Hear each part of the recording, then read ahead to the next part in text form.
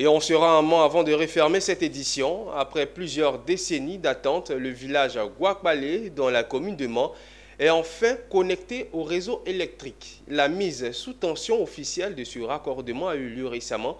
Occasion pour les populations de célébrer la lumière, d'introniser le nouveau chef du village et d'inaugurer les nouveaux bâtiments de l'école primaire du village. Un reportage est signé Théodore Kanga.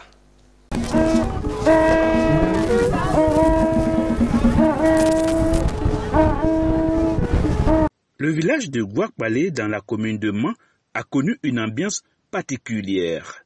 Pour cause, dit Robert, le tout nouveau chef a été installé officiellement sur la chaise royale. L'homme est doté d'une probité morale avec une bonne connaissance des us et coutumes de chez lui. La cerise sur le gâteau fut la mise sous tension officielle du raccordement du village au réseau électrique national et l'inauguration des nouveaux bâtiments de l'école primaire offert par Dao Claude Paulin.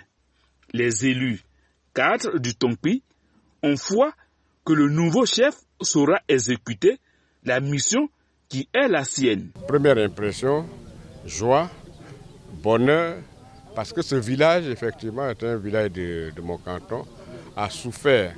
Donc vous avez lu sur le visage des uns et des autres la joie que, que les gens éprouvent à avoir l'électricité. Comme je le disais tout à l'heure, c'est le dernier village autour de moi qui vient d'être électrifié. C'est une joie profonde pour moi, pour tous les cadres et pour nos parents. Le ministre Paulin Claude a toujours projeté sa fierté sur l'école. Un vent nouveau souffle désormais sur le village de Guakpalé qui est resté 36 mois sans chef officiel. Et vraiment, je suis très content. Le verre prend le courage, la notabilité et nous, nous allons tous travailler ensemble.